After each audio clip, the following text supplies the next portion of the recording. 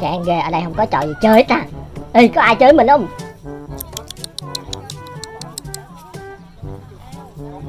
Ê gâu chơi trò này không mày? Trò gì mày? Thì trò hửi mông nhau đó mày. Đó nãy tao mới hửi mày đó. Mày thấy không? Tao thấy ngứa ngứa mông mày ơi. Chơi xong trò này chắc tao rụng hết lông mông luôn. Ê sao mày bỏ đi vậy? Chơi tao đi chơi đi. Trò này trò đó vui nè nè nè tao đang hửi mông mày. Nè Few moments later. Chơi đi mày hay lắm. Chơi đi chơi đi. Đang hửi nè đó đó đó thấy không? Thôi tao chơi đâu ghê quá mày ơi. Tao thấy hôi hôi sao á.